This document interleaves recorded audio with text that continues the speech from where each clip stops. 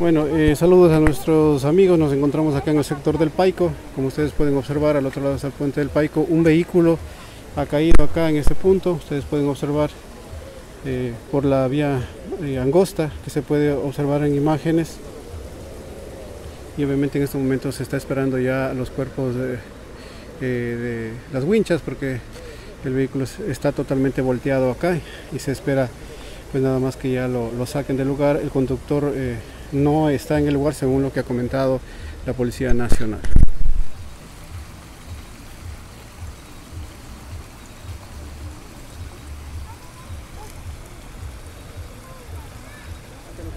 Bueno, muy buenas noches. Soy el señor William Morán, presidente de acá del sector del Paico.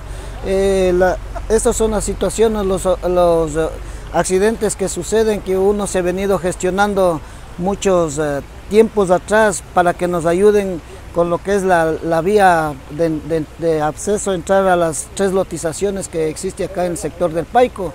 Esas son las, lo que ahora se, se ve los accidentes que siempre se les ha pedido que nos ayuden las autoridades y entonces quisiera es que pongan hincapié en esa situación para que no sigan habiendo accidentes en, el, en lo posterior. Ya solo, ¿Qué es lo que han pedido ustedes específicamente? Eh, nosotros hemos pedido de que este estero nos hagan unos muros de contención o que nos hagan de poner unas alcantarillas para poder anchar lo que es el, la vía de acceso.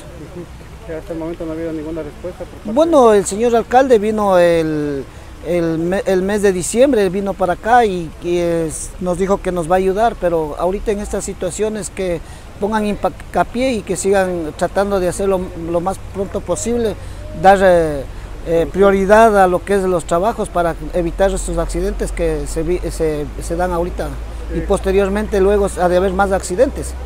Lo que se puede ver es que hay una vía angosta, ¿no? una vía bastante pequeña aquí de acceso donde que no, no, no podrían cruzar dos vehículos. ¿no? Sí, eh, verdaderamente aquí es muy angosto y por aquí pasa el bus, el bus también tiene que pasar con mucha eh, precaución para evitar esos accidentes, porque aquí no, no permite que dos vehículos pasen al mismo, al mismo tiempo. Entonces eso siempre hemos venido pidiendo para ver si que nos ayuden con, eh, con rapidez lo que es la ampliación de la, de la calle principal. Darwin Chaquinga, bombero de, de aquí de, de aquí de Pastas. Cuéntenos un poquito de este accidente que han venido a revisar, ¿qué se puede informar? Bueno, el 911 nos informa eh, de, una, de un incidente en el sector del Paico, el cual manifiestan de, una, de un descarrilamiento de un vehículo que posiblemente ha caído en el, en el río.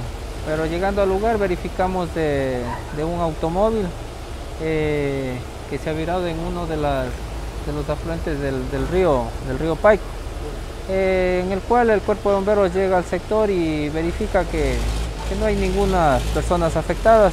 Sí, solamente daños materiales, en este caso un vehículo, un automóvil. Y eso todo y se deja ahí el, lugar a cargo de Policía Nacional.